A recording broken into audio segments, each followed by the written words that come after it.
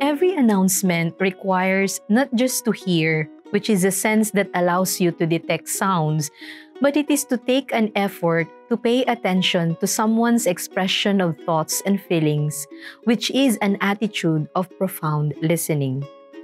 Our Blessed Mother in today's feast is not just hearing an announcement, but she listened carefully to the message, which for her is not just mere words of important declaration, but a clear voice of God whom she constantly hears in the beating of her heart and in the reflective way of looking at her experiences from the love of her life. This announcement is like a proposal from God, whom she loves with her whole being and for whom she intended to give her whole life. Mary, though filled with a lot of questions and was greatly troubled, How will this be, since I am a virgin? But in her great love for God, she answered yes to the divine plan. I am the handmaid of the Lord. Let it be done to me according to your word. This is the kind of obedience that becomes the cause of her salvation and of that of all mankind.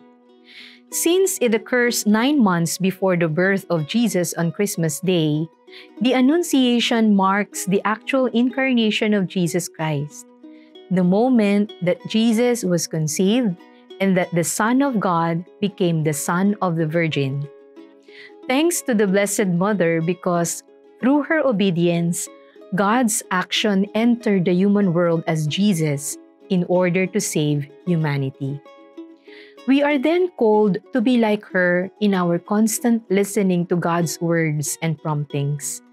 We might be engulfed by fears, lies, and unfounded anxieties, especially this time of pandemic, but God is continuously assuring us of His presence. We are only asked to listen carefully, fixing our eyes on His divine holy will. Let us together pray. O most holy Virgin Mary, to whom God sent the angel Gabriel to announce that you shall be the mother of his only begotten Son, pray for us who have recourse to you. Amen.